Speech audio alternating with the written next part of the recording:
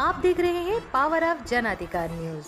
देश की हकीकत, आपकी आवाज़। लखनऊ राज्य कर्मचारी कल्याण निगम डिपो कर्मचारी संघ के डायरेक्टर ने सीएम के आदेश की उड़ा रहे धज्जियाँ। डायरेक्टर अशोक कुमार श्रीवास्तव उड़ा रहे सीएम के निर्देश की धज्जियाँ। पीएम व सीएम के आदेशों को नहीं मानते अशोक श्रीवास्तव। लॉकडाउन के दौरान किसी भी कर्मचारी के स्थानांतरित करने के नहीं है। निर्देश सीएम के सख्त आदेश के बाद भी दो कर्मचारियों नवीन चंद्र उपाध्याय महेंद्र कुमार गुप्ता का कर दिया ट्रांसफ़र लक्ष्मण सिंह पावर व मनोज कुमार श्रीवास्तव को किया बर्खास्त विजय कुमार यादव।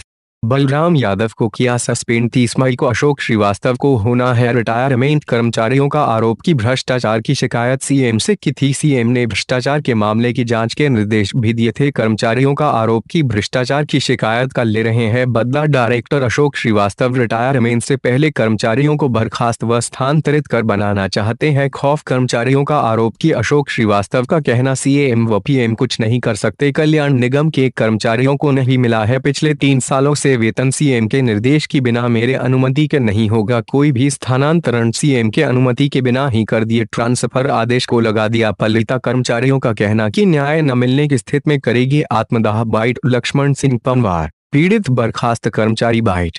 मनोज कुमार श्रीवास्तव पीड़ित बर्खास्त कर्मचारी। मैं मनोज कुमार श्रीवास्तव उत्तर प्रदेश राज्य कर्मचारी कल्याण निगम डिपो कर्मचारी संघ का महामंत्री हूँ। क्या हुआ है मामला? मामला ये है भाई साहब, हम लोग को जो है तीन तीन साल से वेतन नहीं मिल पा रहा है और हम लोग जो है उसके लिए आंदोलन किया है। 2000 जो उन्नीस सौ, दो हज़ार अट्ठारह में हम लोगों ने हम लोगों ने आंदोलन शुरू किया, जो भी एक संघ बनाया, सब जितने कर्मचारी कल्याण निगम जितने संघ थे, सबको मिला के हम लोग संयुक्त संघ बनाए एक। वो मैंने उसको किया। उसके लेके उन्होंने हमारे शासी नेता अशोक कुमार श्रीवास्तव जी ने हमको जो है, तीन लोगों को उसके खिलाफ जो, हम लोग के खिलाफ जो है आरोप नोटिस जारी किया। एक महामंत्री हमारे अध्यक्ष के खिलाफ किया एक महामंत्री के खिलाफ किया एक उपाध्यक्ष के खिलाफ किया। ठीक है? अभी लॉकडाउन में क्या किया? लॉकडाउन में उन्होंने ये किया मुझे जो टर्मिनेट कर दिया।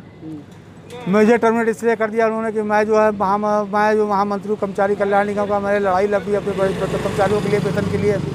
उसका समाधान उन्होंने नहीं किया। लाखों करोड़ों का घोटाला उन्होंने किया। लेकिन उसके बाद भी जो है उन्होंने टर्मिनेट इसलिए कर दिया कि मैं जो है बहुत ज़्यादा वो सक्रिय हूँ कर्मचारी कल्याण निगम उसके साथ रहता हूँ। इसलिए मुझे उन्होंने टर्मिनेट कर दिया। अगर मेरी मांगे अगर शासन प्रशासन नहीं मानेगा, अगर मुझे टर्मिनेट कर दिया है मेरे पास कोई रास्ता नहीं रहेगा, मैंने ये सोच रखा है। अगर मेरे साथ न्याय नहीं मिलेगा, माननीय मुख्यमंत्री ये मुझे न्याय नहीं देंगे तो मैं आत्मदाह करूँगा। सचिवालय के सामने मैं आत्मदाह करूँगा। मैं गारंटी के साथ ये बात कर रहा हूँ आप लोगों के सामने। आप लोग जानिए, आप लोग मेरी समस्या का समाधान करिए। मेरी इतनी उम्र हो गई है, मेरे बच्चे हैं। मुझे अभी बच्चों की शादी करना है। मैं समस्या ग्रस्त हूँ। आप सब समझिए आप जो करना करिए। पहले तो अपना परिचय दे दीजिए। मेरा नाम लक्ष्मण सिंह पवार है। मैं उत्तर प्रदेश राज्य कर्मचारी कल्याण निगम डिपो कर्मचारी संघ का उपाध्यक्ष हूँ। क्या मामला है आपका?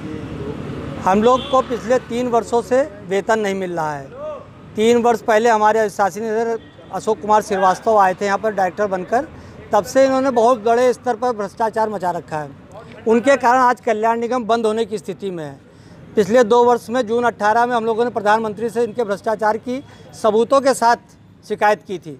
उसकी जाँच मुख्यमंत्री द्वारा और प्रधानमंत्री द्वारा जून 2018 से आज तक चल रही है, लेकिन ऊँचे स्तर पर इनका साठ गांठ के चलते आज तक वो जाँच पूरी नहीं हो पाई है, जबकि ये इकतीस तारीख को रिटायर होने वाले हैं। लॉकडाउन चल रहा था, ऐसे में क्या कार्रवाई की गई है? हम लोग अपने वेतन को लेकर क्योंकि तीन वर्ष से वेतन नहीं मिल रहा है तो हम लोग अपने वेतन को लेके और अपने डायरेक्टर को हटाने के लेके पिछले 11 फरवरी 2020 से हड़ताल पे थे। 21 तारीख तक हम लोग हड़ताल पे रहे, मार्च तक। 22 तारीख को देश में लॉकडाउन लग गया तो हम लोगों की हड़ताल स्थगित हो गई। और उसके बाद हमारे प्रधानमंत्री जी ने घोषणा की थी कि किसी भी कर्मचारी की कोरोना काल में जो है नौकरी नहीं जाएगी। लेकिन जब थोड़ा कार्य शुरू हुआ तो हमारे डायरेक्टर साहब ऑफ़िस में आके बैठे और हम लोग जो लॉकडाउन में अपने घर पे बैठे थे, इन्होंने सारे कर्मचारी नेताओं के खिलाफ कार्रवाई करनी शुरू कर दी।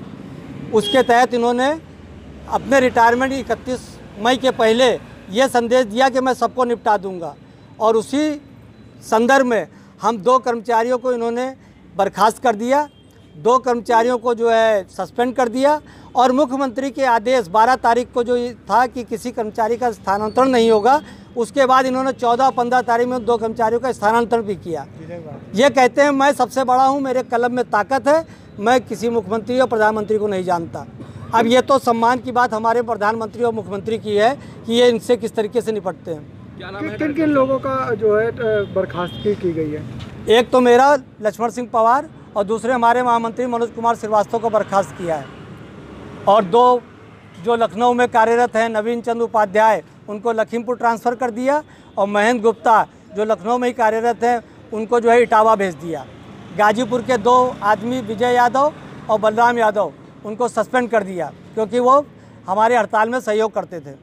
अभी तक जो आप आपने पूरी बात बताई है इस, इसकी शिकायत आपने किसी से कि मुख्यमंत्री से की मुख्यमंत्री पिछले दो वर्षों से हम लोग लगातार बर्खास्तगी के बाद से सस्पेंशन के बाद से कोई आपने किसी को पत्र लिखा कुछ मांग की आपने? अब इस समय हम लोग मानसिक रूप से इतने ज़्यादा प्रताड़ित है क्योंकि अभी आठ तारीख को हमारा बर्खास्त किया हमें लेटर नहीं मिला। लेटर अभी हम लोग को दो दिन बाद पहले ही सूचना लगी कि हम बर्खास्त हो गए ग्यारह तारीख को मनोज श्रीवास्तव को किया उनकी सूचना भी हम लोग को व्हाट्सएप के ज़रिए किसी माध्यम से मिला। कि हम लोग बर्खास्त हो गए हैं। क्या मांग करते हैं आप? हम ये मांग करते हैं कि हमारे मुख्यमंत्री जिनके पास हमारी आवाज़ पहुँच नहीं पा रही है और उच्च स्तर पर लोग बैठे जो इनकी बात इनके जो भ्रष्टाचार को दबा देते हैं मुख्यमंत्री से हमारा निवेदन है कि इनके भ्रष्टाचार की जाँच की जाए इनके रिटायरमेंट से पहले इनकी पूरे भ्रष्टाचार की जाँच हो और यदि अगर दोषी मिले जाँच तो चल रही है दोषी मिले तो इनके सारे देयक जो है ख़त्म कर दिए जाएँ और हम लोगों को जो है न्याय दिलाया जाए।